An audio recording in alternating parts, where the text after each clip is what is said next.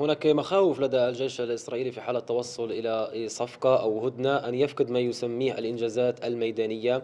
الخشية من أن يعود أن تعود حركة حماس لمراكمة قوتها كما حصل في جباليا وأيضا مناطق أخرى. وبالتالي الجانب الإسرائيلي تقديراته أشارت اليوم إلى أن حماس يملك كفاءة عالية ما زال يحتفظ بكفاءة عالية في سلاح الأنفاك إذا الخشية لدى الجانب الإسرائيلي هي بالأساس أن تترك هذه الفترة فترة الهدنة في حال التوصل إلى صفقة أن تجعل حماس يزداد أو يعيد مراكمة قوته لذلك الجانب الإسرائيلي في هذه المرحلة.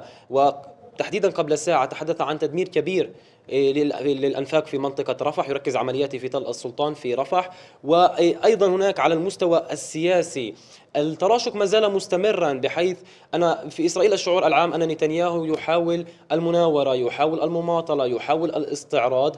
إيه، هو مخير بين هذه الصفقة وبين حكومته. المضي نحو صفقة يعني بالضرورة إيه، أن تنفك هذه الحكومة بحيث أن نتنياهو يخضع لابتزازات كل من الوزيرين. بيتسليل سموتريتش وأيضا إيتمار بنغفير في هذه الأثناء قبل لحظات تحديدا أعلنت الحكومة الإسرائيلية الائتلاف الائتلاف الحاكم عن سحب كافة القوانين التي كان من المقرر التصويت عليها في الكنيست لأن هذه الحكومة فقدت الأغلبية بفعل ابتزازات بنغفير بنغفير يشترط على هذه الحكومة إذا كنتم تريدون مني تمرير مشاريع هذه الحكومة وضمان استقرارها فلتدخلوني إلى مجلس الحرب. هو يشعر أن هناك صفقة قريبة بنغفير يريد إحباط هذه الصفقة. يريد المضي بهذه الحرب وأيضا يتمسك بالمطلب الذي لطالما تغنى به تدمير حركة حركة حماس. يريد الاستيطان في قطاع غزة يريد السيطرة على قطاع غزة. هو يشعر أنه في هذه المرحلة لا يستطيع التأثير فعلا على مجرى الحرب رغم تهديداته.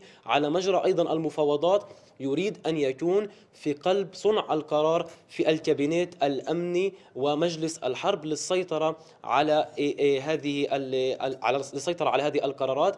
أيضا كانت هناك تصريحات أيضا من قبل هذه الحكومة أطراف في هذه الحكومة شركاء نتنياهو المتزمتين دينيا يقولون إن نتنياهو فقد السيطرة على هذه الحكومة. هو يخضع لبنغفير يلبي ما يريد بنغفير وبالتالي يعني هناك خيبة أمل في ائتلاف نتنياهو. وهذا بشكل يعني بشكل وثيق يرتبط بمسألة المفاوضات وأيضا يعني هذه الصراعات الداخلية التي تزداد نعم. عمقا وأيضا الفجوات بين الشركاء في هذا الائتلاف. نتنياهو فعلا يبدو أنه في حالة من الحرج أمام شركائه وأيضا أمام الشارع الإسرائيلي الذي يطالب باستمرار بالمضي نحو صفقة كذلك ضغوط العائلات بشكل نعم. مستمر حتى في الأيام الأخيرة مع الحديث عن هذه الصفقة والتقدم في المفاوضات يطالبون بالمضي بهذه الصفقة ووقف هذه الحرب لإعادة المختطفين وعدم الرضوخ لإيتمار بنفير